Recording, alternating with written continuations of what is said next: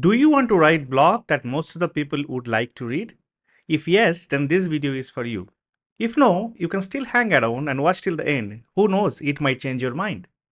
Hey, this is Tapas. Welcome to your channel tapaScript where you learn things fundamentally and conceptually. Today's topic is not technical one. It's about blogging, a little bit technical stuff with that because it's about technical blogging. But before we get started, I would like to talk about myself being a blogger. It's not about boasting about my blogging journey. Rather, it's about boosting your confidence on the fact that I'll be sharing in this video. In the last three and a half years, I have written about 250 plus articles on my blog greenroots.info and this blog is hosted on Hashnode, on dev.to, writing for several years now. Also the amazing place like FreeCodeCamp where I was mentioned as the top contributor for consecutive three years. Apart from that, I've been writing for a lot of paid gigs. By the way, the next video that I'm going to create on the content creation will be about how to get paid gigs through blogging. So if you don't want to miss that, please subscribe to this channel so that you get those content very, very easily. Alright, so that's about me, my blogging. But this video is not about my blogging. It was just to set the context that I have some experience to talk about this topic. Now let's get into the topic, but I want to make sure that you understand that what we are going to do. We are going to break this thing into three phases. The three phases will be things that you want to care, things that you want to know, and things that you want to do about your technical blogging. So the first is the things that you want to care. So if you don't care about your article, your blog, why should somebody else care? And for them to care, you have to make sure that your article is always upfront and visible. How do you make your article visible? One of the key factors for making your article visible is the cover image and the title. So make sure you create a cover image for your article that is relevant to your article topic. Here is an example. I am writing an article on full stack, full stack engineering. Maybe very soon I'll be publishing this. So if you read the article title is talking about full stack or full stack, the dream for some and joke for many. So what does it mean? It means that I'm going to talk about full stack, but at the same time, the title is catchy enough for someone to look into it. But it's not a clickbait title. It is relevant to the article. It is relevant to the things that I'm going to talk to my audience. At the same time, look into the cover image. Is talking about back end, front end, and there are two developers who are pointing fingers on each other and trying to say, hey, back end, hey, front end. So when you talk about full stack, we generally talk about front end and back end together. So that's the sense I was trying to bring into this cover image. It may not be perfect, but this works for me. And you know, with my experience, I can make out that it might work for my readers as well. Now, after cover and after title, you need to worry about one more important aspect. That's the subtitle or the meta description of your article. The one that you see over here, let me zoom in a bit for you. This is the one is called subtitle or the meta description. When you search something on Google, how does a search result look like, my friend? Here I have searched about promises and you see it gives me a few articles about promises or search result. You can see like where is it from, the title of it, then the date, and then there is a meta description, right?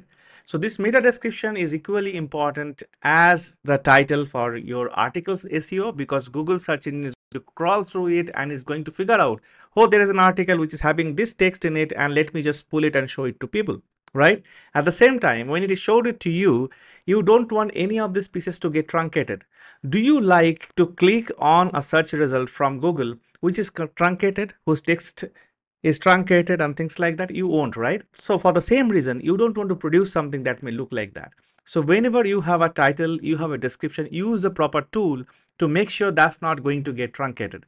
For that, I generally use this tool called Google SERP Snippet Optimization Tool. It's a great tool where you can actually provide the title, the URL of your blog, and then the meta description and then test it out whether that's going to break or not. So let's test it out. The full stack versus full stack article that is in draft. I'm going to copy the title from here. I'm going to paste it over here. So you see, this looks good. So this is not going to get truncated. That's fine.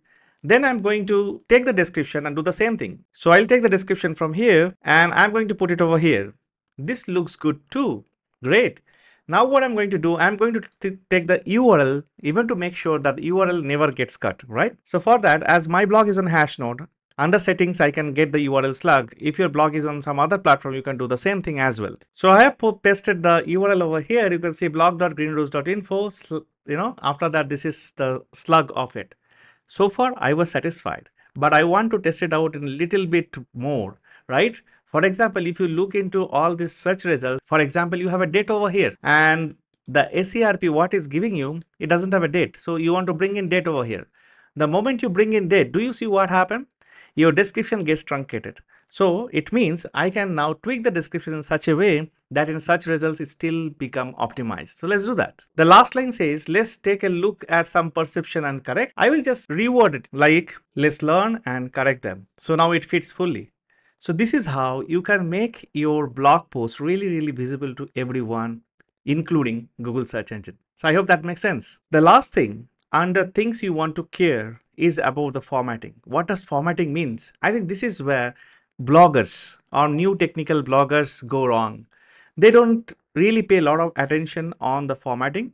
And I'm going to take you through few examples through which you will learn about formatting. And if you follow those, you will feel that your article is really, really coming alive, right? So let's see that. When I talk about formatting, it actually starts from here, like how easily user can navigate through the content of your blog. If they cannot navigate easily, they lose interest and they exit, as simple as that. So you have to make sure that you do proper formatting of the text of the headings, of the subheadings, every bit and pieces that is relevant in your article. If you don't do that, you fail to present your article in front of your audience. Even it, it's a classic one and it's a very good one and it has a lot of potential.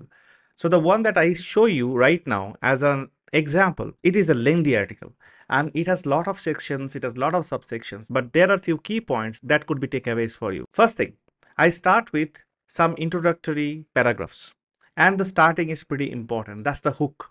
That's where you have to grab the attention of your reader so that they would like to read further. Now you can start straight away, you know, bang on the subject, perfectly fine. I do that sometimes. But sometimes if the article itself is going to be really longer and it needs some additional meat, that's when you might want to tell some story, give some insight, do something curious in the beginning so that you know user will be glued to it. After that i make sure that i have proper heading. And as the title starts with already a h1 i generally starts my heading with h2 because if you consider this as an html page by right click and doing a view page source you have h1 that is your title. And then your first heading is your h2 so it means every heading that comes underneath i go as h3 h4 but one thing to keep in mind here that i never go beyond two levels of nesting. Maximum to maximum three levels of nesting if at all is required. There are a couple of reasons for it because if I go too much nesting, the table of content looks really, really messed up.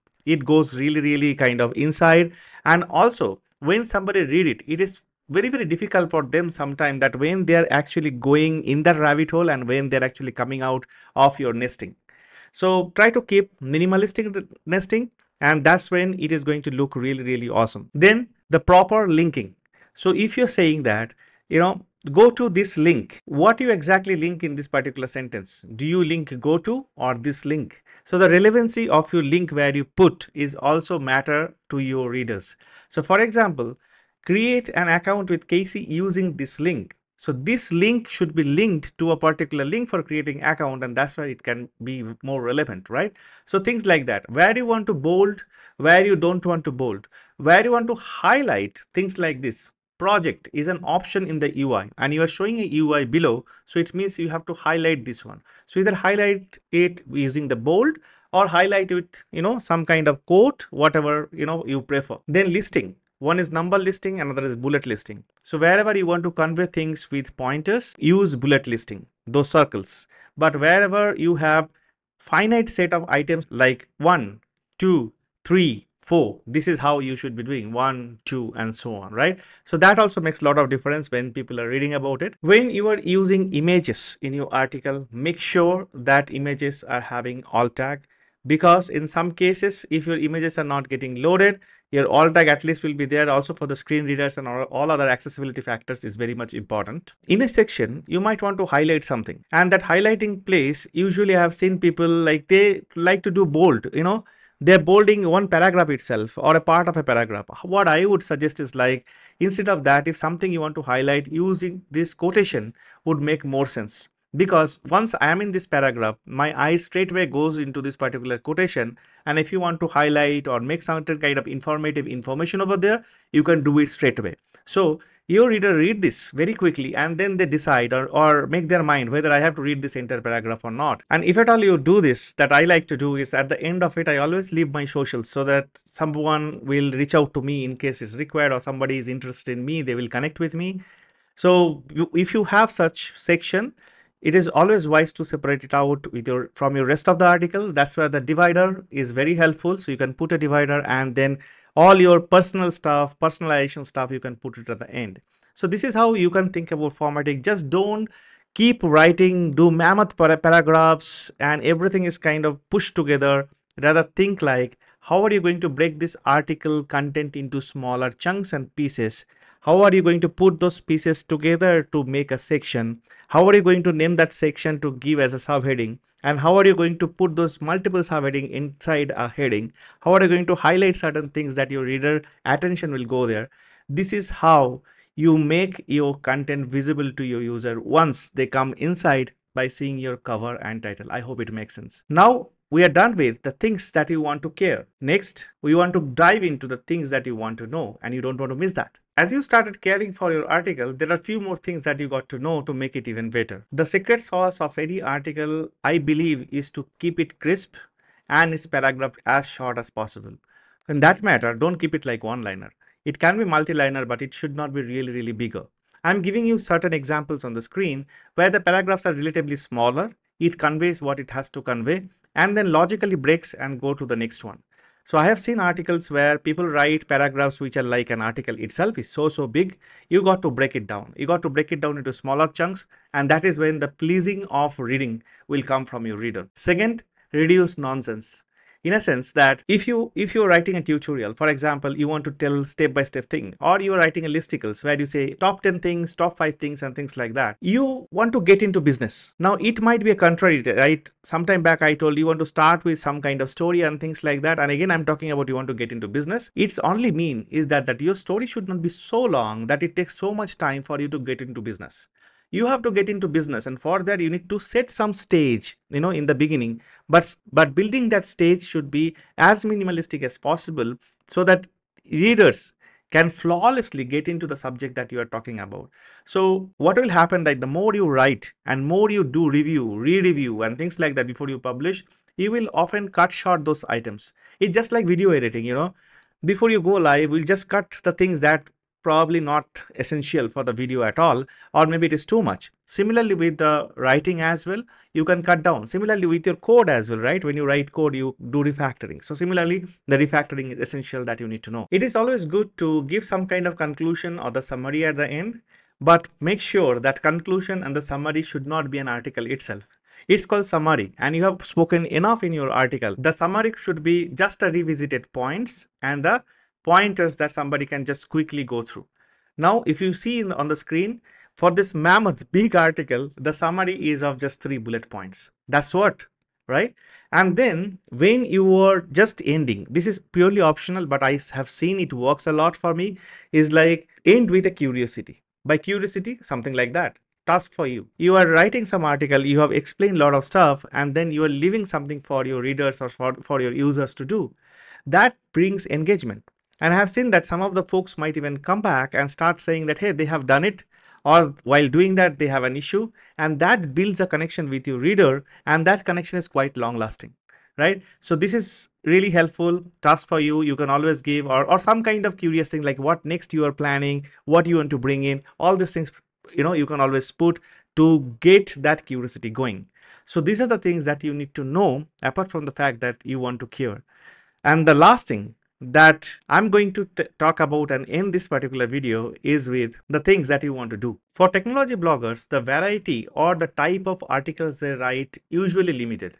Either they write step-by-step -step tutorials, they, they write listicles, they write case studies, they write a review of the product. These are the things basically they keep doing, right? So in this limited number of set, each of this article demands a different kind of formatting and outlook. So for example, if you are writing a tutorial which is like step-by-step -step tutorial, you have to make sure that for each of the step you provide adequate screenshot if it is relevant and then the code snippet that actually making that happen. Here is an example. So there are plenty, plenty of screenshots. And then again, the code example from the code example, what is the outcome that particular thing screenshot because never ever overestimate or underestimate your target audience. There could be somebody who is just beginner, want to know each of this step want to follow each of this step and they are going to appreciate you there are people who might already know they will skip it's fine but right for always most of the mass that will really, really like to go through each of these pieces, right? So make sure you do that. Second, very vital point. If you're writing a step-by-step -step tutorial, after putting all the steps, perform it by yourself. Many times it happened that, you know, I was quite convinced that after giving this command, this will be the output or this is how the things will work. So just go and publish it. But what happened while following that, some of the readers will find that certain things are missing. Maybe a, a very simple step of installing a dependency got missed and because of that things are not working. Now they might figure out that it is missing, but still they won't be shy of commenting on your article that you have missed it, right? You don't want that, you know. These are all obvious errors that you should be catching at your end. So the best thing would be you perform the task that you have written in an article and then only you publish or then only you submit. And this is very much important if you are doing a paid article because people are paying you for writing articles. So make sure that those are really, really good and those are really, really having all information that nobody is going to suffer with. Putting a code snippet on your step-by-step -step tutorial is good, but it's not enough. You also need to explain those code snippet the way that you understand them. So for example, the snippet that you see over here, and then there will be an explanation just below it saying that what exactly this piece of code doing. Some people may understand just by looking into this code, but some people need explanation. So make sure you do that. All right, now this is controversial. I have seen many people put screenshot of a code instead of the code itself. I kind of don't like that. Neither I don't like reading those articles because it is hard for me to make use of that code. Maybe the intention here is like someone will write the code seeing the screenshot, but that's defeat the purpose. For me, somebody is looking into my article and they want to get started as soon as possible. So I want to give all the flexibility to them so that they can copy paste the code and they want to make use of them. My suggestion would be to you to always use the proper code block that your blog editor supports. You can give screenshot, but even if you give screenshot, make sure there is a way that people can get your code, maybe a GitHub link or something like that, that people can actually get your code from, right? So that's very important. Last but not the least, when you are writing listicles like this, you know, 10 tricks, five that thing, seven these things, always go by the number that you are mentioning. I have seen things, also have done this in past, like I'm telling five HTML tags, but at the end of it, I have written eight HTML tags inside it. Okay, so that's that's that's cool, but it's not that great, you know. And at the same time, you provide adequate references. So when you're writing listicles, the purpose is not to make a very lengthy article. It's about talking about those 10 things, maybe give some kind of screenshots, give some kind of, you know, animated stuff, explain the things, but at the same time, just provide a link from where people can read more about it, know more about it. Listicles are always about the entry point and from there people want to learn in depth so you are giving them the opportunity to do so. I hope it makes sense to you like the things that you want to do as well. So let me ask back again do you want to write blog that most of the people would like to read? If the answer is yes and you learn something from this particular video please like and share and subscribe to this channel. If you still not convinced that you want to write blog and developers should get started and can started with blogging, I'm perfectly fine with that. At least after listening to me, you would appreciate the effort and time a developer takes to share their learning with other developers through a medium like blogging. I, I know that you will appreciate that after that. All right, so stay well guys and stay healthy. I'll come back again with another video on content creation very soon. I'm going to see you on my channel. So please subscribe so that you don't miss out any videos from me in future. Thank you very much.